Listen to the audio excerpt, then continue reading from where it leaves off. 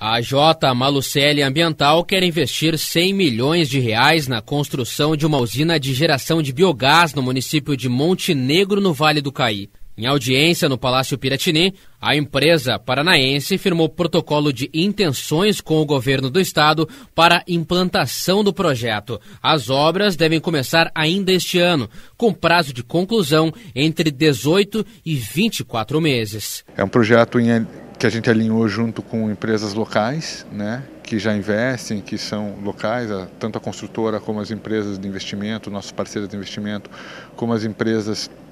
que originaram o primeiro projeto piloto de produção de biometano são empresas locais e a gente agora está fazendo os alinhamentos finais com a Sulgás e com o governo do estado para poder dar vazão à produção de biometano e são aí aspectos chaves aí para finalizar a estruturação do projeto. A usina deverá transformar resíduos agrícolas como grãos e dejetos da produção animal em biometano, dióxido de carbono, energia térmica e elétrica e biofertilizante. Esse é um projeto pioneiro, não só no estado do Rio Grande do Sul, né, mas no Brasil são poucas as unidades que estão sendo implantadas e ele é definidor, uma vez que o estado do Rio Grande do Sul hoje ele é um comprador de gás natural, especialmente da Bolívia, distribuído a partir da Sulgás. Então, nós passamos a ter com esse projeto, que fica pronto em 24 meses, uma fonte no estado do, do Rio Grande do Sul produzindo